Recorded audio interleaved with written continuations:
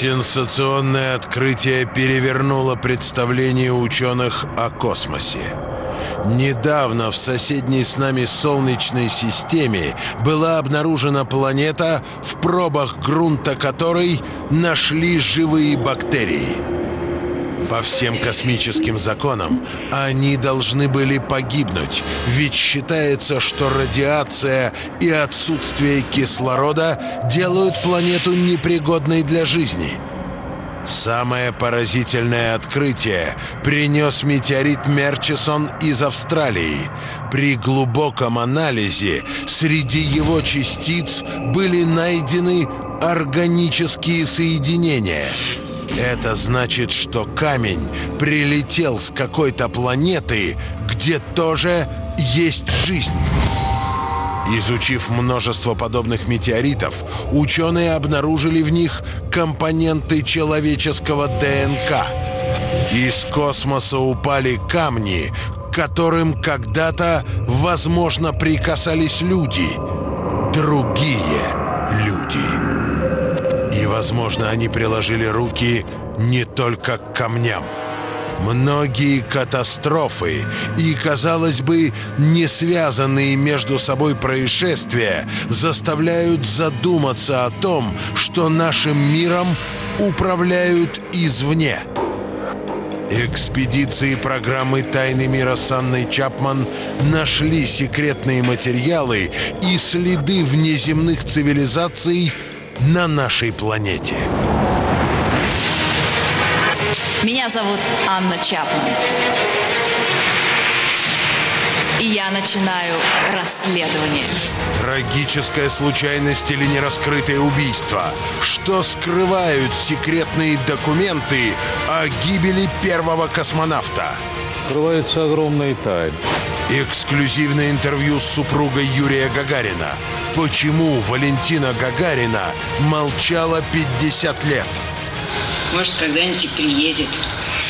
Секретные эксперименты и тайная война с инопланетянами. Что за объекты преследуют военных летчиков? Конечно, это не шаровая молния, а очевидно, что-то инопланетное. Что оставили неизвестные гости из космоса на полях Краснодарского края? Это похоже на остатки каких-то пород, возможно, э, от топлива корабля. Я раскрою все тайны. Тайны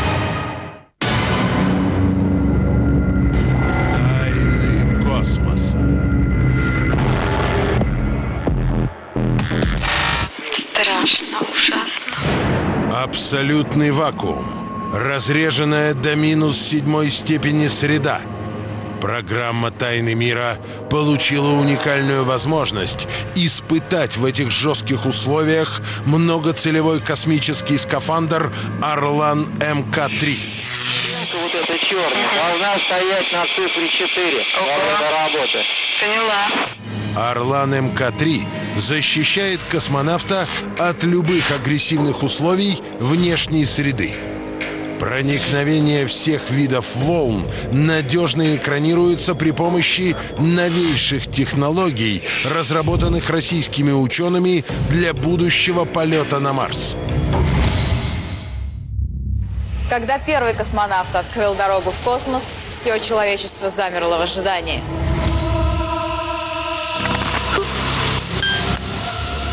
Все ждали встречи с инопланетными видами – Советские ученые регулярно отправляли в космос радиопослания. Чтобы установить контакт с другими цивилизациями. Радиограммы говорили о величии Ленина и СССР, но не в этом суть. Ответ был получен, но с неожиданной стороны.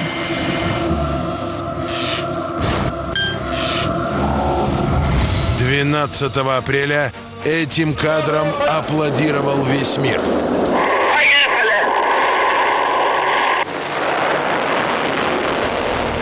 Зрители услышали голос первого космонавта в истории человечества.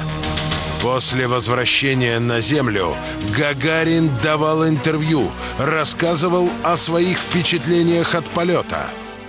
Задрожал всем своим корпусом, и медленно, очень медленно оторвался от стартового устройства. Гагарин говорил о том, как красиво со стороны наша планета, как необычное ощущение невесомости. Но что на самом деле увидел первый в истории человечества космонавт, когда вышел за пределы земной атмосферы? Сейчас мы располагаем уникальными документами, которые хранились в архиве президента России. Возможно, они помогут нам открыть, если не все тайны космоса, то, по крайней мере, загадку гибели первого космонавта. То, что космонавты видели вот эти объекты, это однозначно. Но теперь надо из них вытянуть эту информацию. У меня были э, душевные разговоры с Георгием Михайловичем Гречко. В такой приватной беседе он кое-что какими-то намеками так мне рассказывал. Игорь Барклай считает, что пора отбросить условности, ведь таинственные объекты, о которых умалчивают космонавты, могут нести опасность всей нашей планете.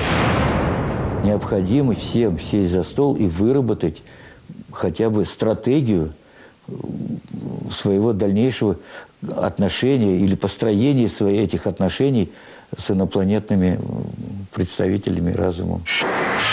Люди, посвященные в секретную часть космической программы, информированы намного больше. Мы постараемся узнать, почему военные скрывают правду о космосе. Держаться за то, что жизнь только, разумная жизнь только у нас на планете, ну это полнейшая глупость. Все, что невозможно объяснить, становится секретным. Гагарин отправился в космос более полувека назад, но до сих пор доступ к документам о первом полете открыт только для избранных. Лишь недавно часть материалов была рассекречена – и касаются они не полета в космос, а таинственной гибели Гагарина. Попробуем разобраться, что на самом деле произошло в тот роковой день. 27 марта 1968 года Гагарин отправился в тренировочный полет. Вместе с ним вылетел инструктор, командир полка Владимир Серегин. Герой Великой Отечественной войны, летчик, совершивший сотни боевых вылетов. Однажды он смог посадить самолет, у которого не выпустилось шасси. Он выходил из таких ситуаций, в которых невозможно выжить. Но не в этот день. Наша съемочная группа отправляется на место тех событий – мы должны выяснить малейшие детали авиакатастрофы. Многие очевидцы обратили внимание на необычный объект, который находился рядом с самолетом в момент падения. Из-за леса вылетел огненный шар, начал потихоньку двигаться, и в это время пролетал самолет рядом. Вот одни говорят, что вроде бы э, прям было касание самолета с огненным шаром, а другие говорят, нет, касания не было, но было резкое сближение. Антоныч как сказал, летел, говорит, я, говорит, кулю дрова, вот, Новиков, он лесник был. Вот, кулю дрова, говорит, надо мной, говорит, самолет летит, визжит, говорит. Я, говорит, поглядел, слышу, говорит, бух, взрыв и о, белый шар. Версию местных жителей о том, что на пути опытных пилотов возникло некое препятствие, подтверждает и военный летчик-испытатель Марина Попович. Что-то помешало, сильно помешало. Я 625-й, зону 20 освободил. Прошу выход к третьему. Э, высота 4200 э, руководитель бояза, занимайте высоту 1000 со снижением. Гагарин сказал, понял. И столкновение с землей 45-57 секунд. 27 марта 1968 года на месте трагедии работали лучшие в Союзе эксперты-криминалисты. Они обследовали буквально каждый сантиметр.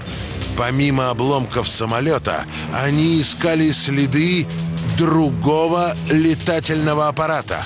Вот цитата из рассекреченного документа. Выводы комиссии.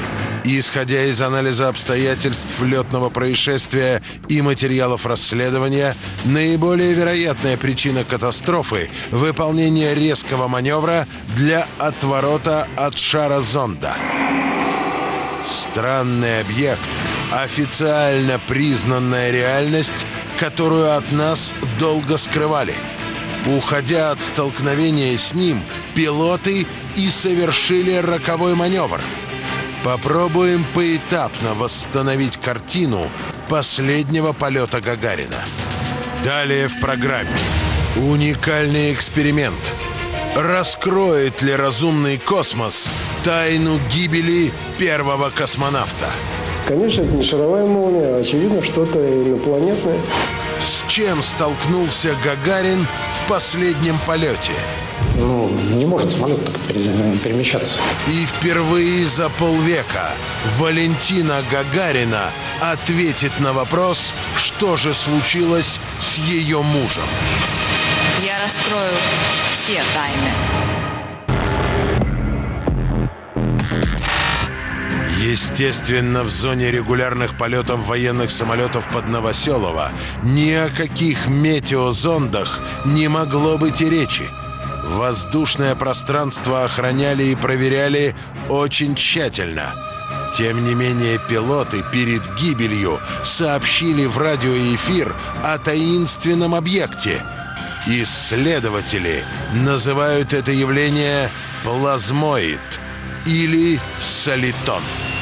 Это солитон, безусловно, солитон, э, вихрь электромагнитный в своей оболочке, который живет своей жизнью. Если внутри колоссальная энергия, то, конечно, она имеет э, возможность выйти за пределы этого солитона. Считается, что подобные электромагнитные вихри появляются во время грозы и геологических сдвигов. Но в этот день небо было ясным, землетрясений не отмечено. Если иметь в виду, что под НЛО чаще всего как раз имеется в виду вот эти огненные шары, то да, можно сказать и так. Мы попросили прокомментировать это происшествие военного эксперта Александра Плаксина. На протяжении многих лет он занимался исследованиями плазмоидов и других электромагнитных явлений. Военные ведомства давно собирают информацию о происшествиях, связанных с этими объектами. Возникала метка на экране, сопоставимая с самолетом. Она как бы баражировала, преследовала самолет, двигалась по азимуту, двигалась по высоте. Потом так же, как э, внезапно появлялась, так же и внезапно исчезала. Большинство людей даже не подозревают, как часто с этим явлением сталкиваются современные летчики. Для авиации э, вот эта проблема э, плазменных светящихся образований является очень актуальной. Это значит, что практически каждый летчик за много лет э, полетов встречался э, с светящимися образованием неким. Нашей программе удалось найти пилотов, которые согласились рассказать о том, что видели многие их коллеги, но хранят в тайне. Военный летчик Андрей Журавлев рассказал, как однажды чуть не разбился, приняв светящийся шар за посадочные огни. Я увидел свечение, но как от посадочных фар, но это очень сильное свечение. Знаете, такая нарастающая скорость, и ну, не может самолет так перемещаться.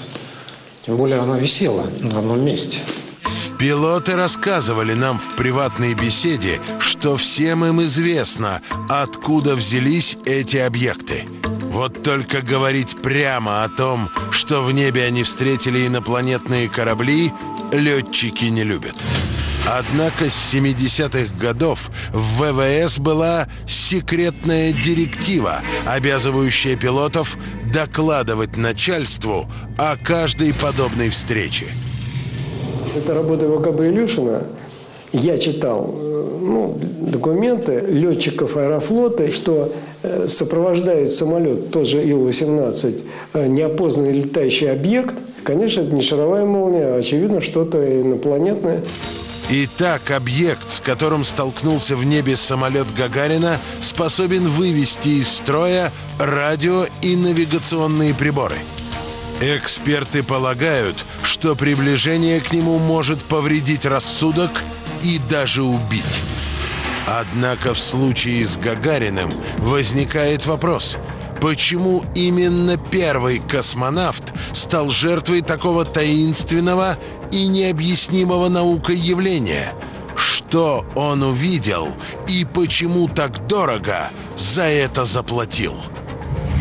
Юрий Гагарин и Владимир Серегин в небе над деревней Новоселово столкнулись с необъяснимой силой, с чем-то, что выбило их опытнейших пилотов из колеи.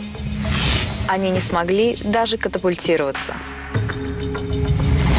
Попытки наладить связь с другими планетами делались на протяжении всей космической программы. Так, в 1962 году при помощи мощной антенны в Евпатории ученые отправили в космос радиопослание на азбуке Морзе.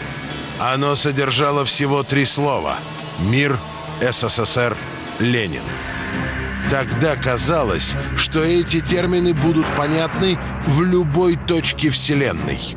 Ученые верили, что где-то рядом живут другие, похожие на нас люди. До сих пор сигналы обнаружены не были. Вот. Одна из причин в том, что, может быть, они передают не в радио, а какие-то другие сигналы. Радиосигналы действительно не самый эффективный канал связи с космосом. Послание, отправленное с Земли, возможно, и достигнет обитаемых планет, но через десятки тысяч лет. Еще столько же необходимо, чтобы дождаться ответа. Самым эффективным способом связаться с пришельцами ученые считают телепатическую связь. О том, что она существует, известно с древних времен – в мире немало экстрасенсов и телепатов, но мало кто знает, что при Министерстве обороны существует секретное подразделение, в котором этим занимаются ученые. Здесь разработали особую методику и утверждают, что научились общаться с космосом по-настоящему. Сегодня генерал-лейтенант Савин, руководитель экспертно-аналитического отдела Управления Генерального штаба Вооруженных сил и его коллега Валентина Иванова впервые готовы рассказать про этот необычный эксперимент. Вся информация, которая существует не только на Земле, но и на Вселенной, она хранится в особых базах данных космоса. Надо договориться с теми, кто охраняет вот эту базу данных, чтобы они туда пропустили. Либо сами дали вот эту информацию.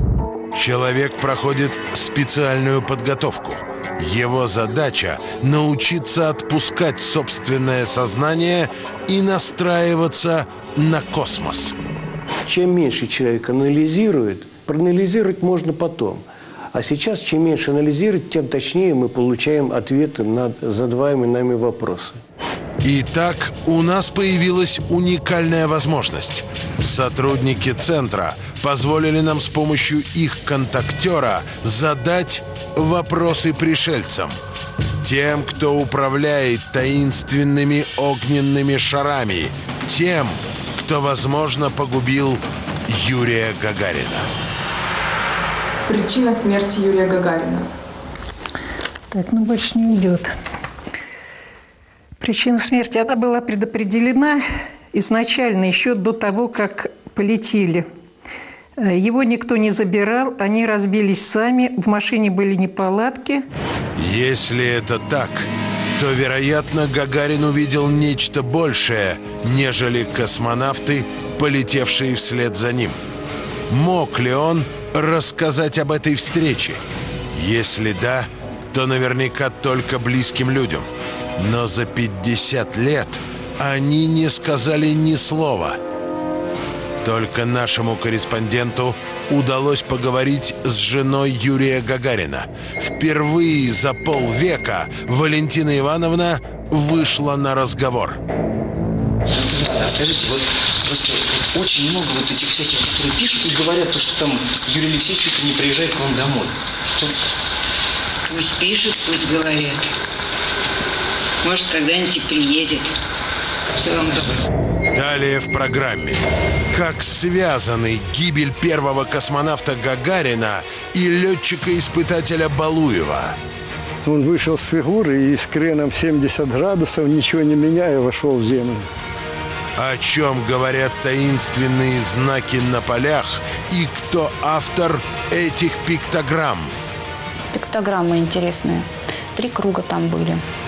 Сенсационная находка нашей экспедиции. Эксперты не понимают, кто оставил высокотехнологичный материал в чистом поле. Это излишки, излишки э, гостей из параллельных миров. Что оставляют космические корабли, потерпевшие крушение на Земле? Приходилось пинцетом, потом магнитом все собирать металлические детали от этого разбившегося НЛО. Я раскрою все тайны. Самолет первого в истории космонавта разбился по вине необъяснимого с научной точки зрения явления. Машина была исправна. Пилоты прошли предполетную подготовку. Единственная причина гибели, согласно официальной версии, некий шарообразный объект. Как поведет себя пилот, если встретит в небе светящийся сгусток энергии? На этот случай нет точных инструкций. Что опасней – подлетать к загадочному объекту или резко разворачиваться? Или сохранить прежний курс? Никто не знает, как спастись от шаровой молнии. Краснодарский край – станица Отрадная. Сюда мы отправляемся для того, чтобы изучить обстоятельства не менее загадочной авиакатастрофы. Расследованием этой аварии до нас никто всерьез не занимался. Самолет под управлением опытнейшего летчика разбился без видимых причин. Почти как гагаринский МиГ-15. Эти места с давних пор преследует дурная слава. Сейчас наша экспедиция пройдет по смертельному маршруту, которым следовал разбившийся летчик. Станица Отрадная, маршрут в ту сторону. Так, включаем тумблеры. Вот винта.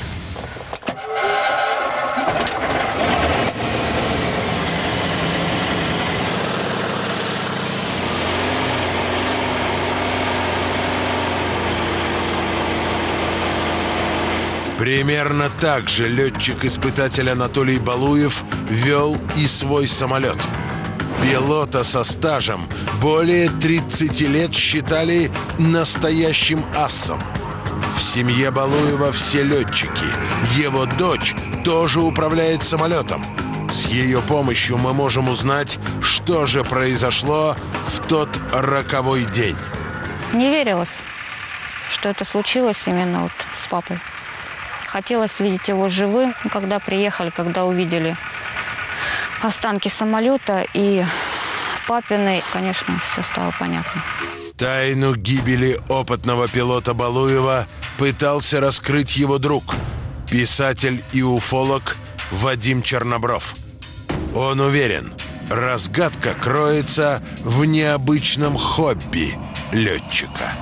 Балуев, э, он э, стремился подлететь поближе к светящимся шарам. Если он что-то замечал, то, скорее всего, конечно, это были НЛО. Возможно, последний полет Балуева закончился встречей с одним из таких светящихся шаров. Или его погубило другое увлечение, ведь летчик изучал и другое, не менее загадочное явление. За год до смерти Анатолий Балуев сделал сенсационные снимки. Он первый заметил таинственные знаки, которые стали появляться на полях Краснодарского края. Он вот изучил э, место, где приземлилась, так сказать, вот НЛО. Э, папа первый делал фото съемку, пиктограммы интересные. Три круга там были удивительные такие. Мы полетели с ним вместе с Агафонычем и летали, фотографировали вот эти знаки на полях. И он рассказал, говорит, вот понимаешь, Оль, ну не может быть это, говорит, действительно так, говорит, потому что мы не можем быть во Вселенной одни. Эти знаки не поддаются однозначной расшифровке, но возникают в разных местах со зловещей регулярностью. Исследователи, в том числе и военные, называют их пиктограммами, то есть символами, которые явно что-то обозначают. Обычно они появляются там, где накануне видели неопознанный летающий объект. В этих краях летчики встречаются с ними чуть ли не каждый день. Очень многое здесь. Тема, которая для нас, в общем-то, закрытая. Придет время, конечно, чего-то мы узнаем. Эти две катастрофы очень похожи. И Гагарин, и Балуев ушли в штопор на исправных самолетах и при хорошей погоде. В обоих случаях нет документов, которые могли бы объяснить случившееся. А в объяснение, которое лежит на поверхности, просто трудно поверить. Гагарин ничуть он не погиб. Может быть, он до сих пор и жил. Его похитили, будем говорить, темные силы. На месте гибели Юрия Гагарина исследователям делать нечего. До них здесь прошли сотни хорошо обученных специалистов известных органов. А вот на поляне, где разбился самолет Балуева, мы, пожалуй, впервые изучили каждый сантиметр. Нам помогал Николай Цицорин, который профессионально изучает подобные катастрофы. На таких э, объектах э, обычно находят э, какие-то странные породы, например, металл, который при 40 градусов температуры просто начинает плавиться. Это достаточно разнообразная форма. Вот, возможно, от какого-то э, внеземного корабля. Мы отдали камни специалистам и получили сенсационное заключение. Оказывается, в поле мы нашли слитки кристаллического кремния. В чистом виде в природе он не встречается, зато используется в сверхсовременных космических системах. По внешнему виду это кремень. Он не является частью осадочных пород а четвертичного происхождения, а принесен откуда-то и по возрасту он э, так приблизительно палеозойский, а палеозойский это около там 430 миллионов лет. Чтобы получить кремний в чистом виде, необходим как минимум специальный завод. В Краснодарском крае такого нет. При этом значительный процент кремния содержится в почве. Но чтобы добыть его прямо на месте, нужны технологии, которых человечество пока не знает. Оказалось, этот э, кремень, что удивительно, он магнитный. Вот этот кусочек, да, вот этот кусочек, вот он горячий был. Это значит, а внутри примеси какие-то есть. Для каких целей инопланетному кораблю понадобилось это вещество? Чтобы разобраться, как устроен инопланетный корабль, наша съемочная группа отправляется в Приморский край. Здесь в 1986 году произошло уникальное событие. Потерпел крушение неопознанный летающий объект, и спецслужбы не смогли полностью скрыть этот факт. 29 января э, на вот эту высоту упал металлический шар. Здесь находились девчонки, которые катались здесь на льду. И они видели, как шар медленно поднимался и опускался в течение получаса шесть раз. Ну вот здесь, на этом месте, я находил металлические шарики. Приходилось пинцетом, потом магнитом все собирать металлические детали от этого разбившегося НЛО. Сначала Валерий Двужильный опасался, что обломки заберут сотрудники КГБ, которые вскоре прибыли на место падения неопознанного летающего объекта. Однако Валерию разрешили оставить себе несколько фрагментов. Впоследствии он отправил их на экспертизу сразу в несколько лабораторий по всему миру.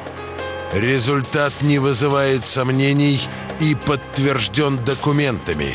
Исследованное вещество имеет внеземное происхождение. Здесь находится самая большая ценность – это кусок обшивки от НЛО. Валерий Двужильный уверен, светящиеся шары, сгустки энергии, которые ученые называют плазмоидами, всего лишь видимая часть инопланетных кораблей. Выхлоп из двигательной установки. Далее в программе. Чем закончилась встреча Николая II с шаровой молнией и почему сгустки энергии атакуют телецентр Останкина? Цвет менялся от э, ярко-желтого до пурпурно-желтого цвета. Что за ангелы летают над городом Красный Лиман и чем приглянулись пришельцам промышленные районы Донбасса? Это было вот вдоль неба такое, как огненный меч ангел, ангела, что ли. Кто метнул копье Зевса в жительницу города Энгельс и как выжить при ударе шаровой молнии? Раскат грома прогремел. Прям страшный. Я раскрою все тайны. Ученые до сих пор не могут дать объяснение природы шаровых молний. Светящийся шар – сгусток энергии. Примерно так их описывают очевидцы. История знает лишь несколько случаев, когда человеку удавалось выжить при столкновении с ними. Но те, кто выжили, открыли в себе сверхъестественные способности. Шаровые молнии приходят к людям с древнейших времен. И, что удивительно, к совсем непростым. Александр II Освободитель и Николай II видели один и тот же светящийся шар. Вот как вспоминал об этом последний русский император. Вдруг стало совсем темно, когда порыв ветра распахнул врата церкви и потушил свечи перед иконостасом. Я увидел, как в окно влетел огненный шар. Шар покружился на полу и вылетел через дверь. Мое сердце замерло от страха, и я взглянул на дедушку, но его лицо было спокойно. Все знают, что в грозу высокие деревья и здания со шпилями притягивают молнии, а вот шаровые молнии почему-то тянутся к местам великих потрясений. Октябрь 93 -го года. Москва. Штурм телецентра Останкина. Многие демонстранты заметили, что здание атакует светящийся шар. Затем шар переместился к храму, который находится в 300 метрах от Останкинской телебашни. Он направлялся с определенной скоростью, и внезапно он действительно э, столкнулся с церковью. Останкино высокотехнологичный комплекс, который, по идее, надежно защищен от попадания молнии. Но шаровые молнии уже не первый раз атакуют именно храм Востанкина. Действительно, как шаровая молния э, залетела, и вот какие-то, какой-то урон небольшой, по крайней мере, испуг какой-то у прихожан был. В 2011 году многие жители города Краматорска в Украине видели в небе сияющий шар.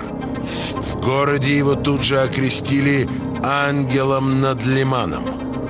Ну, я сначала подумал, что это солнце так светит, но солнце, оно круглое, а это было вот вдоль неба такое, как огненный меч ангел, ангела, что ли.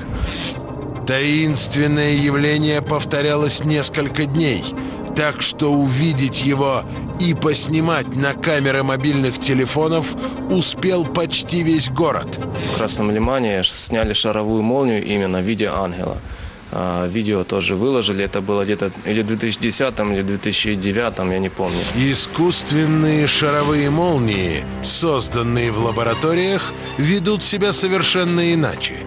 По физическим свойствам они идентичны природным плазмоидам, но последние словно бы имеют зачатки разума. Действия шаровых молний и правда вполне осмысленны. Одних они убивают, других изучают, к третьим прикасаются, а у кого-то просто вырывают куски плоти. Мария Мертина, педагог из детского приюта в городе Энгельсе Саратовской области, показывает отметины, которые оставила на ее теле шаровая молния. Древние называли это копьями Зевса. Современные ученые недалеко ушли от античных коллег. Они не могут объяснить, что именно произошло с девушкой. Неожиданно вот где-то вот вдалеке, ну, примерно вот где вот деревья, туда вот немножко подальше, сверкнуло. Очень ярко. Потом вот громыхнуло, и вот на этом моменте я больше ничего, к сожалению, не помню. Но такая была яркая вспышка, и, и очень вот раскат грома прогремел. Прям страшный. Год назад Мария и ее муж ехали на машине по пустой трассе. Их ослепила внезапная вспышка. С неба сорвался огненный шар и пролетел между супругами. Удар был такой силы, что автомобиль задымился. Мой мозг отключился, сознание вот полностью без сознания. И еще после этого я два дня пробыла в реанимации в бессознательном состоянии. На теле были ожоги, на руке, вот, э, на теле, э, на голове шрам. Я сначала не поверила, что такое может быть вообще. Мощнейший электрический разряд убивает человека за долю секунды. Но смертельный удар молнии пришелся на образ Божией Матери на груди у Маши. От иконы практически ничего не осталось. Мария считает, икона спасла ей жизнь. У меня вот было две цепочки, вот у меня осталось буквально вот такой вот огрызочек. Далее в программе. Какие угрозы несут человечеству инопланетные технологии? И смогут ли военные защитить Землю? Нашу Землю рассматривают как лабораторию для испытания землян, людей. Кто принес жизнь на планету и какие тайны скрывают метеориты, прилетевшие из глубин космоса? Когда он упал, распространился сильный запах органических веществ. Зачем советские моряки изучали загадочные объекты в море и почему описание этих встреч до сих пор засекречены? Эскадра такая-то вот наблюдала в море выход свечения моря, затем выход э, такого диска в диаметре 70 метров. Я раскрою все тайны. Наша программа расследует обстоятельства и причины гибели первого космонавта планеты Земля Юрия Гагарина и последовавших затем событий.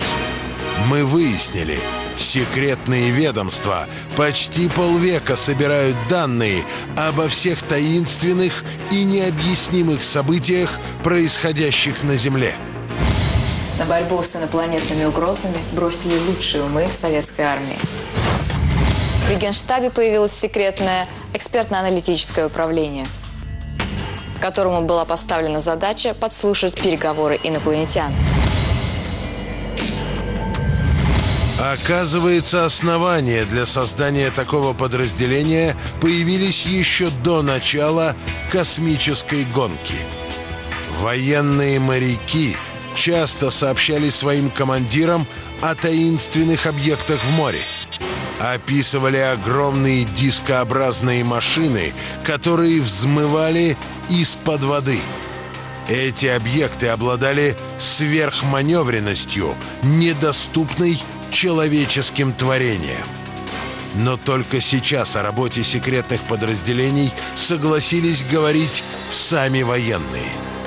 Первая официальная структура по изучению э, неопознанных космических объектов была создана на флоте. Ежемесячно делались сводки начальнику главного разведывательного управления, в Комитет государственной безопасности. То есть эта деятельность была официально признанной. Секретное подразделение открыли при Генштабе военно-морского флота. Вот по какой причине. Именно в воде, вдали от людей, корабли-пришельцы встречались чаще всего.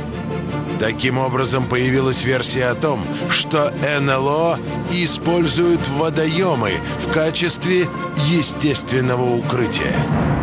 Эти машины способны и летать, и находиться под водой.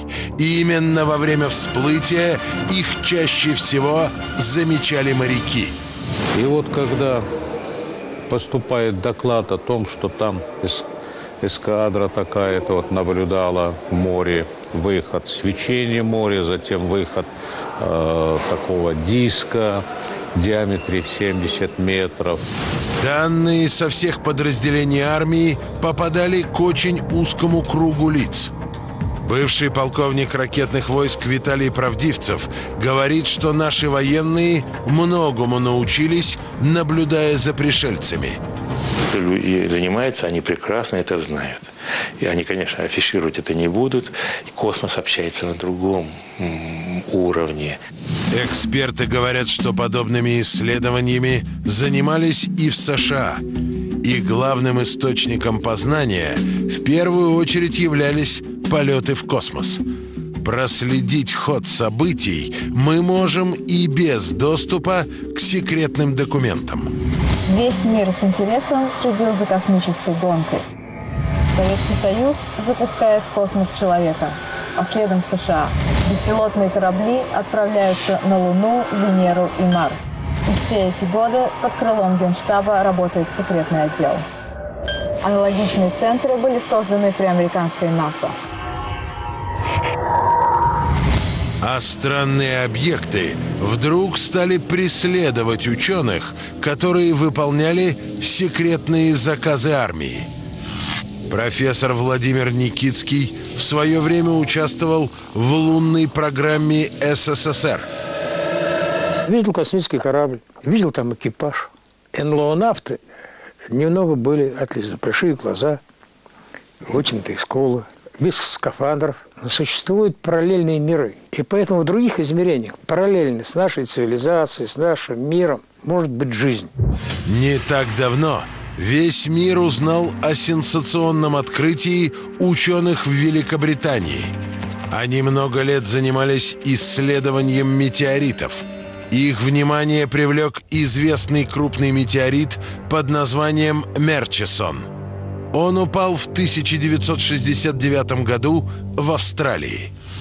Люди, которые присутствовали при падении метеорита, говорили, что когда он упал, распространился сильный запах органических веществ. Ученых давно интересовали именно такие метеориты, содержащие органические соединения – этот факт указывает на то, что жизнь на Землю, скорее всего, попала вместе с одним из таких же космических осколков. Но Мерчисон оказался особенным. Эксперты пытались исследовать его и раньше, но лишь несколько лет назад появились технологии, способные разложить химический состав буквально на молекулы. Ученые обнаружили, что он содержит органические вещества, аминокислоты, амиды карбоновой кислоты, вещества, которые свидетельствовали о наличии в нем жизни. Мы буквально разбивали его на фрагменты для того, чтобы понять родительскую структуру, чтобы прочитать код химической эволюции, которая происходила в Солнечной системе и которая могла стать источником жизни. Тщательный анализ метеорита Мерчисон, упавшего в 1969 году, показал, в нем содержится генетический код человека. Ученые задались вопросом, а могут ли такие же метеориты занести жизнь и на другие планеты? Все организмы строятся по очень похожим моделям. Мы используем нуклеиновые кислоты, мы используем сахара, мы используем липиды, мы используем аминокислоты, например, протеины. И, к удивлению, вся эта химия отражена в метеоритах. В нас содержатся все те органические соединения, которые содержатся в метеоритах, что наводит на мысль о взаимосвязи между внеземной жизнью и, вероятно, происхождением жизни на Земле. То есть, по сути, происхождением человека. Существует теория, согласно которой жизнь во Вселенной не возникает сама по себе. Возможно, ее, точно споры, космические объекты переносят от планеты к планете.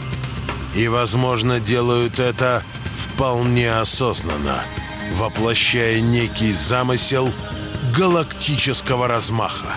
Нашу Землю рассматривают как лабораторию для испытания землян, людей. На Земле проводится эксперимент.